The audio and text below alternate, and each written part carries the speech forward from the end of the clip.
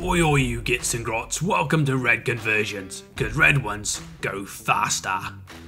In today's episode we're going to be using a few simple pieces to make ourselves a nice tidy weapon for your flash gits and commandos, the long range shooter. So we're going to start off with just a regular boy's arm. Now with this shooter we're just going to cut along the line of the metal and then also go through the trigger guard. And this is going to take the hand clean off. Now we're also going to want to take a little bit off the top in order to put on the scope nicely. Now there's a little nibbly knobbly bit here that we can take off with a sharp knife and clean it up all nice. And we're also going to go on the barrel and take that edge a little bit off just so we can fit on our suppressor. So we're going to take our sharp knife here and we're going to slice him off good and proper and we're also going to get and grab our file so that then we can tidy it up and make it nice and flat.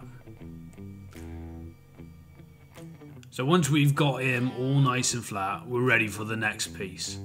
Now we're using a stick bomb as a suppressor, so what we're going to do is we're going to flatten off this end because it's slightly rounded, so just a bit of uh, filing and we should be able to get it nice and flat. So we're just going to drill the end of the stick bomb using the knife just to make a marker. Be very careful with this bit you get.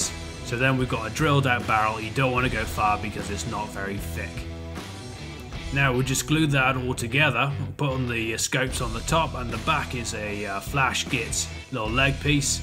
And so when we scale this up against a boy, it's bigger than the git. So this is going to be ideal for your knobs or your flash gits, you know, or even a grot just to show how huge his guns is. So he's got the biggest stacker for the biggest of range. So I hope you've enjoyed this red conversion. Fast little one and we're going to be bringing you plenty more. So like and subscribe or get crumped.